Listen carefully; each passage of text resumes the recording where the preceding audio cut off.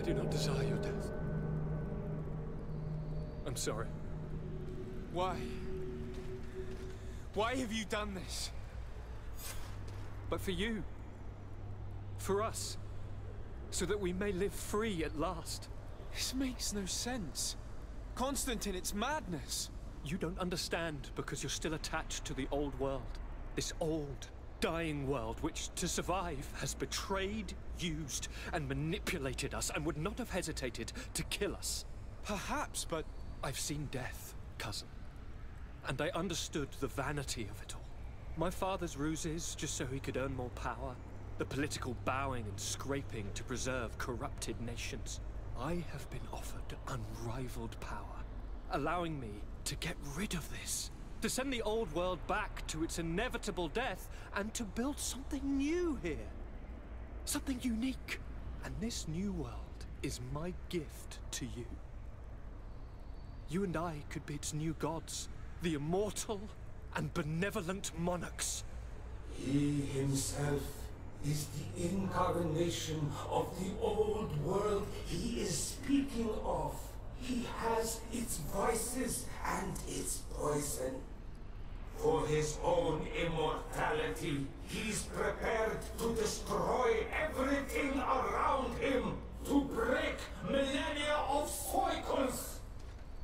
I implore you, flesh of my land, think of all the lives that will come to an end to feed his pride.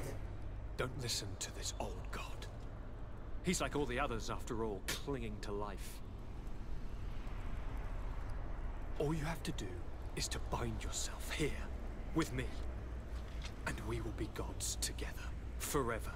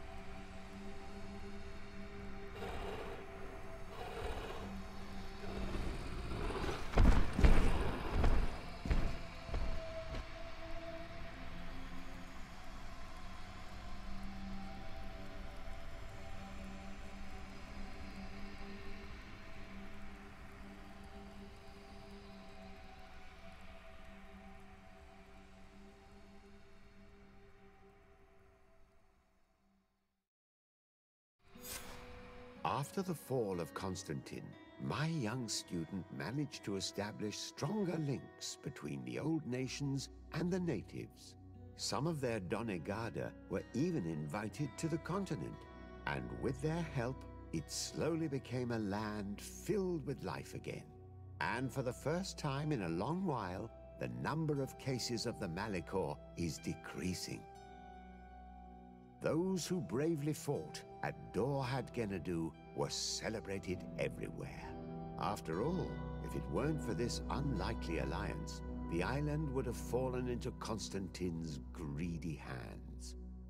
Sieglinde took Kurt as an advisor, but he insisted on keeping his place alongside his former student and friend, watching his back, as he always had. Siora obtained the title of Marl of the Red Spears alongside her twin. She leads them with wisdom, but often reunites with the one she still calls her Karants. Aphra set aside her weapons and went back to her research on the native culture and flora of the island. It is said that she is even writing a book with the help of Dunkasi's clan when not visiting her friends. For his bravery, Vasco was awarded the rank of commander. He now travels the sea at the head of a whole fleet. but he often comes back to visit his brother-in-arms. Petrus's ambitions have finally been fulfilled. He obtained the much-coveted title of Cardinal. Despite the responsibilities implied by such a title, he still sometimes visits the one he calls his child.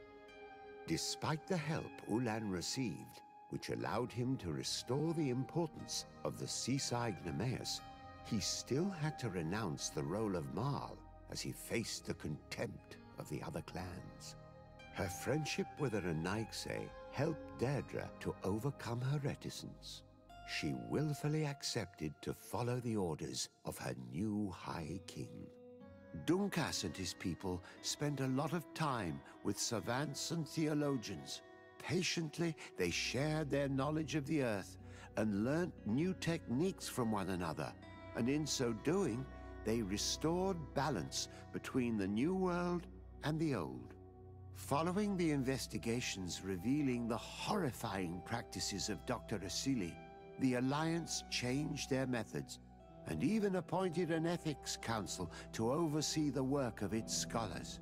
The public revelations of St. Matthias's life led to a deep change in Thélème.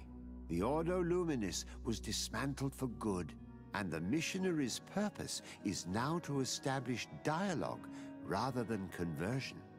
Aware that their culture of secrets would lead them to their demise, the Nauts changed their methods.